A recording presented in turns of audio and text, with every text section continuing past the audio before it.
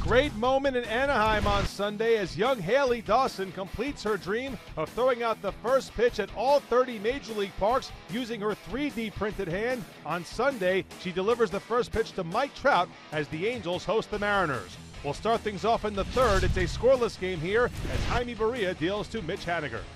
There goes Gordon. The pitch, it's lined into left field, and this is going to fall in for a hit. Gordon is probably going to score on this when they'll wave him home, and he's going to score without even a throw to the plate on a one out RBI double by Haniger. It is 1 nothing Seattle.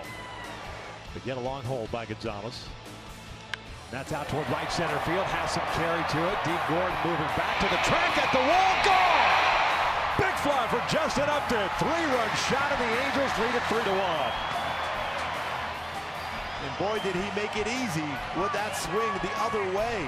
He's hit a number of home runs to right center field in the Big A this season with the new home run spot. Here's Vogelbach. That is out to deep right field. We're tied at three. Barria gives it right back as Vogelbach hits his third home run of the season. That ball got out in a hurry, jumping on that first pitch fastball. This location by quite a bit. 108 miles an hour exit velocity off the bat. So a full count, and we'll see what happens on the next one. It's on its way, and Calhoun swings and lifts one high, and he hits it well into left center field. It's carrying, snapped that 0 for 25 right there with an opposite field homer to left center, his 19th of the year, and the Angels are back on top, four to three.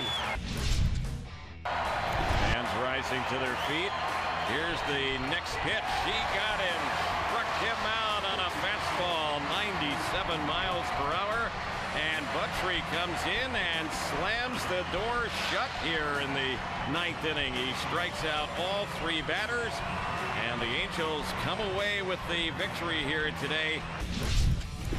Four to three Halos is your final on Sunday. With that, the Angels avoid the four-game series sweep to Seattle. The bullpen combines for four scoreless innings of work, with Taylor Cole getting the win and Ty Buttrey recording the save. Shohei Ohtani goes 0 for 3 with a run scored. Mike Trout gets the day off.